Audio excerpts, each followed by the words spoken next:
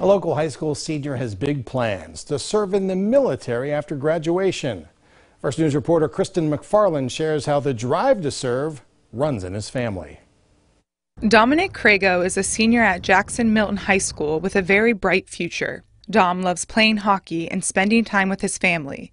But what is most remarkable about him is his service to the local community and our nation. A lifelong admiration of public service has inspired Dom to enlist in the Army post graduation. Growing up, ever since I was four, I wanted to join the military.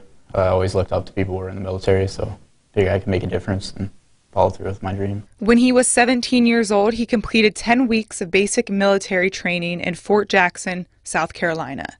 Dom talks about the hardships he faced. It's home a lot. I mean, it was a big difference, you know. I went from being home and stuff like that with my family all the time. And 17, it's a big jump. Dom tells me although he has never met his grandfather, his service in the Vietnam era has inspired him to serve our country too.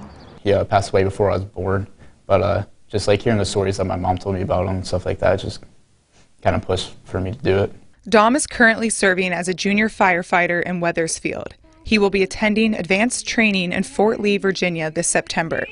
Dom has plans to be a water treatment specialist in the Army Reserves. He tells me his mom and dad are his biggest supporters. Motivated me to do anything I wanted to do or supportive of anything I wanted to do. Dom tells me his family support means the world to him. He says he will continue to do his part to serve his community and our nation. In Milton Township, Kristen McFarland, WKBN 27 First News.